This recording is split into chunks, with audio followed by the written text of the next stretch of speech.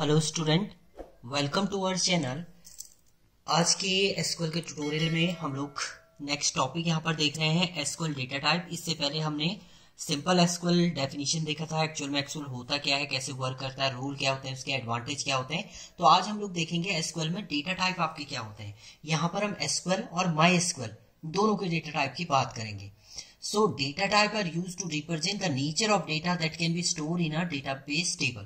Data वैसे simple अगर data की बात करें डेटा होता है रॉ फैक्ट एंड फिगर कोई भी ऐसी इंफॉर्मेशन जो आपको, कोई भी ऐसा डेटा जो आपको इंफॉर्मेशन दे रहा है, उसे डेटा बोलते हैं एंड उसे रिप्रेजेंट करने का तरीका वो होता है आपका टाइप जैसे मान लीजिए मैंने यहाँ पर लिखा कमल.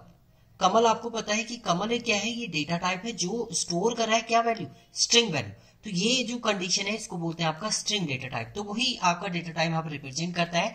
So data mainly data type mainly classified three category तीन कैटेगरी में आपके डेटा टाइप डिवाइडेड होते हैं। सबसे पहला स्ट्रिंग डेटा टाइप होते हैं दूसरा न्यूमेरिक डेटा टाइप होते हैं तीसरा आपका date and time data type होते हैं।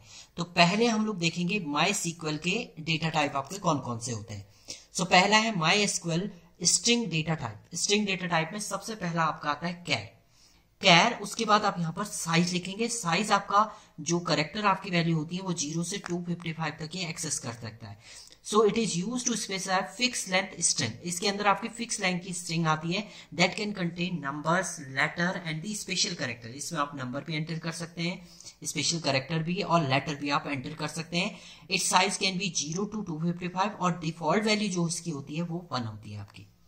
दूसरा आता है, वह वेर कैर मैक्सिमम हम लोग कैर और वेर कैर ही यूज़ करते हैं अगर आपको स्ट्रिंग को यूज़ करना हो। वेर कैर का मतलब होता है वेरिएबल विद करेक्टर इसमें भी साइज़ है, इसमें वेरी करता है आपका। इसमें तो फिक्स लेंथ का होती है स्ट्रिंग इसमें वेरिएबल लेंथ की स्ट्रिंग होती है, जिसका जो साइज़ होता है आपका वो ज़ीरो से six five five three five character ये एग्जीक्यूट कर सकता है एट अ टाइम इसमें भी आप न्यूमेरिक वैल्यू एंटर करनी है लेटर आपको एंटर करना है, या स्पेशल करेक्टर आपको एंटर करना है, वो आप एंटर कर सकते हैं एसक्यूएल के अंदर. इसके बाद आता है टेक्स टेक्स भी आपका स्ट्रिंग वैल्यू को ही होल्ड करता है. So it hold a string that can contain a maximum length of 255 character अगर आपको 255 करेक्टर तक देने हैं तो आप टेक्स में भी दे सकते हैं. ये सेम आपका करेक्टर की तरह है बट ये आपका वेरिएबल लेंथ हो सकता है टेक्स इसके बाद आता है आपका बाइनरी ये सब आपके स्ट्रिंग है. स्ट्रिंग को आप डिफाइन किसी भी तरीके से कर सकते हैं. Binary it is equal to char ये करेक्टर की but store binary byte string binary format में एक स्ट्रिंग को ये एग्जीक्यूट करता है, यानी स्टोर करेगा। It is size permanently specify the column length in the byte and default is one parametrically ये डिफाइन करता है आपका कॉलम की लेंथ की। कॉलम की लेंथ की डिफ़ॉल्ट वैल्यूज़ की वन होती है। इसके बाद आता है आपका वेर बाइनरी ये वेरिएबल बाइनरी होता है आपका। वेरिएबल साइज़ के बाइनरी को आप स्टोर कर सकते हैं।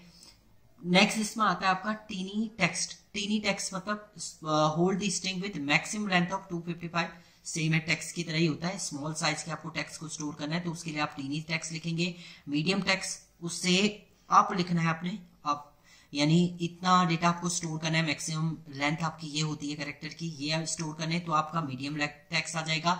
और आपको लार्ज करना है तो लॉन्ग टेक्स्ट भी आपका होता है, जो इतने करेक्टर स्टोर कर सकता है एट अ टाइम तो ये लेंथ है उसकी. तो इनमें से आप कोई भी एक चीज़ यूज़ कर सकते हैं टेक्स के अंदर। तो टैक्स तीन टाइप के आपके, सिंपल टैक्स भी हो सकता है, टीनी टैक्स हो सकता है, मीडियम टैक्स हो सकता है, and long text. Simple text आपका टीनी टैक्स की तरह ही होता है। नेक्स्ट नेक्स्ट आपके डेटा टाइप होते हैं my sequel numeric data type आप न्यूमेरिक डेटा टाइप क्या होते हैं? जो न्यूमेरिक वैल्यू को स्टोर करता है। जैसे वन टू थ्री फोर इन वैल्यू को जो स्टोर करता है, वो आपका न्यूमेरिक होता है। इसमें बिट होता है साइज़ इसके बाद सीध देखेंगे। It is use to bit value type bit की वैल्यू आपको स्टोर करनी है zero one zero one format में तो आप बिट को यूज़ करेंगे। The number of bit per value is specified size it size can be one to sixty four. The default value इसकी भी क्या होती है? आपकी वन होती है। इसके बाद आपका इंट आता है साइज़ इंटीजर वैल्यू आपको स्टोर करनी है, और इसका जो रेंज होती है आपकी माइनस इतने से आपका, इतने तक आपकी वैल्यू जो होती है वो एग्जीक्यूट होती है। इसकी साइज़ ये होता है and the unsign range unsign range के लिए, ये साइन रेंज के लिए अनसाइन के लिए आप ज़ीरो से इतनी आपकी रेंज होती है and size parametric specify the maximum display width is 255 maximum display अगर आपका एलिमेंट कर रहा है तो उसकी विड्थ आपकी जो होती है, वो होती है 255 नेक्स्ट है आपका इसमें इंटीजर आप ही इससे पहले तो आपने सिंपल इंट लिखा था। अब आपका है integer integer size it is equal to int int की तरह ही होता है आपका या इंटीजर आप पूरा लिख दीजिए, या आप सिंपल इंट लिखे और साइज़ आप दे देंगे तो वो हो जाएगा। फ्लोट अगर आपको फ्लोट वैल्यू एंटर करनी है पॉइंट में वैल्यू एंटर करनी है तो उसके लिए आप फ्लोट लिखेंगे साइज़ एंड डी आप दे देंगे। It is use to specify floating point number it size parameter specify the total number of digit total number of digit पे डिपेंड करता है, इसके अलावा फ्लोट है आपका डबल आपको स्टोर करना है डेसिमल फॉर्मेट में करना है, या बूल ये बुलियन भी आपका एक होता है। बूल में आपको true false value related data आपको स्टोर करना है तो वो भी आप स्टोर कर सकते हैं इसके अंदर। नेक्स्ट आता है आपका my sequel date and time ये सारे माई सीक्वल के डेटा टाइप है आपके। नेक्स्ट है आपका date and time format date सबसे पहले डेट होता है। It use to specify date format इसमें क्या आता है? पहले ईयर आएगा आपका वाई वाई वाई फिर एम एम आता है, फिर डी आता है। इट स्पेसिफाई रेंज अब इसकी रेंज जो होती है वो यहाँ से यहाँ तक है आपकी। रेंज देख लीजिएगा इसकी। इसके बाद आता है date time F S P होता है आपका fractional second precision fractional second precision होता है। इट इज़ यूज़ फॉर्म इसमें आपका डेट एंड टाइम दोनों आएँगे। अब फॉर्मेट क्या होगा? पहले आपका डेट का format Y Y Y M M D D फिर आपका टाइम का hours minute and second H H M M S S इस फॉर्मेट में आप लिखेंगे।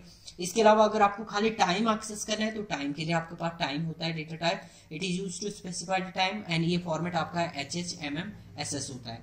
इसके अलावा अगर आपको ईयर फॉर्मेट एक्सेस करना है तो it is use to specify year in four digit four digit में आपका ईयर को ये एक्सेस करता है, जैसे one nine zero one two इतना जाता है एंड ज़ीरो ज़ीरो ज़ीरो ये भी आपका ये स्पेसिफिक फॉर्मेट इसमें होता है आपका। तो ये डिफरेंट आपके डेटा टाइप हैं इन माई सिक्वल माई सिक्वल के ये डेटा टाइप है। अभी हम लोग एसक्यूएल सर्वर के डेटा टाइप देखेंगे अपने नेक्स्ट ट्यूटोरियल में। Thank you student